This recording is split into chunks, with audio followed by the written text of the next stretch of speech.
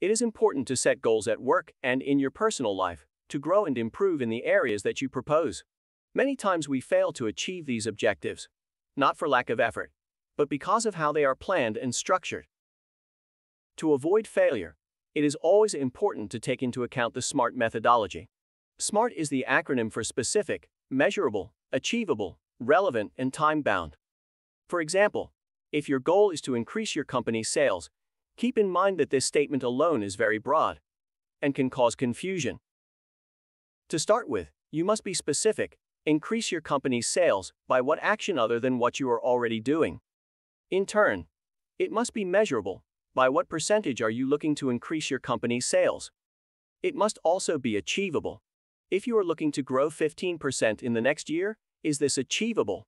Is the niche in which you work growing at this scale annually? Keep these things in mind so you don't get frustrated along the way. Also, remember that your SMART objective must be relevant. You can ask yourself questions such as Is this idea aligned with the company's global objectives? Will the other areas agree to work on this objective? Finally, try to set a time bound deadline for your objectives. This will allow you to be clear about how long you want to achieve it, and also to divide your main objective into micro objectives.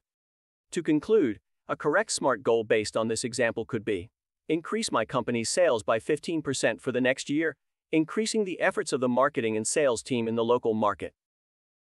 We invite you to read our explanatory article on SMART goals in the description of this video, and also to discover our wide variety of editable SMART goals templates available for PowerPoint and Google Slides.